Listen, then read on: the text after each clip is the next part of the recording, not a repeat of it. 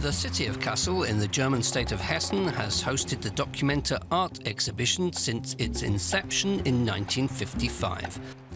But this year, Kassel will share that honour with a city located almost 3,000 kilometres away Athens.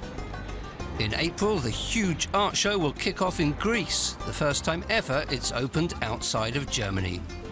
Documenta's artistic director, Adam Szymczyk's controversial decision is a show of solidarity with a city bearing the brunt of both the economic crisis and the refugee crisis. Documenta is once again coming in for criticism. Some say its view of art is too cerebral, with too many works tackling political themes, at the expense of true artistic sensibility. Nadia Argyropoulou, a curator in Athens' independent art scene, is just a little nervous about whether Athens can pull it off. My biggest concern is that believe it or not, that Documenta will fail.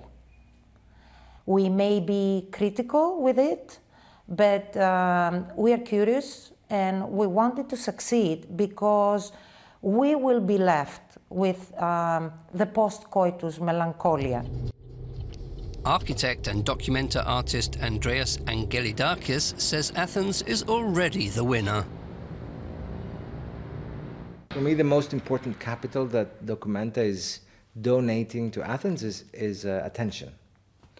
Uh, because that is something that you, you know, you are here making a documentary. Other institutions are interested in doing something in Athens because Documenta is there. They want to share that attention. And of course, they generate more. Um, so I think that's very valuable. Back in Kassel, another artist is also directing attention towards Athens.